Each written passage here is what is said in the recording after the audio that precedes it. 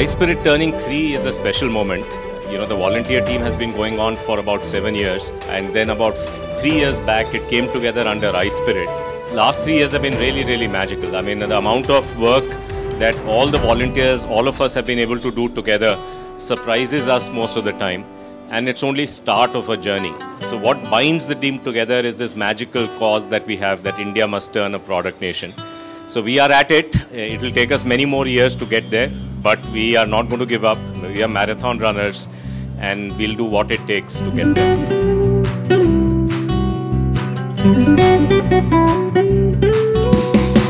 It's been fabulous to see something that started off in a small room to now taking shape and changing the way the country is actually building its companies. And I'm just hopeful that the momentum that iSPIRT has gained and the momentum it has brought to this country uh, will continue going forward. I have been associated with iSPIRT because for I believe in a cause that is larger than myself. We want to make India the next big superpower and that can be only done if we have India as a product nation.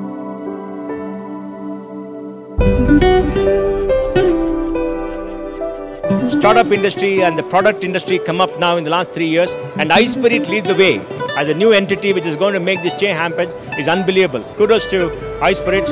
I think the biggest impact of iSPIRT is really the volunteers. Without volunteers, I would say there would be no organization. So people from different walks of life, whether they were engineers, product managers, venture capitalists, whatever, have come out to contribute their time, energy, expertise to giving back and to helping India really build a product nation.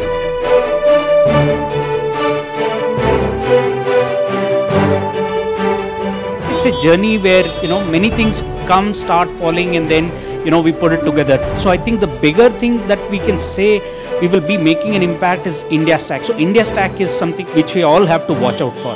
All the efforts that we put in in the first two years have now started yielding results. You know be it on the playbook pillar be it on the policy pillar be it on the market catalyst pillar. Today i think we have, as iSPIRT, made a dent in the ecosystem, which wasn't there a few years back.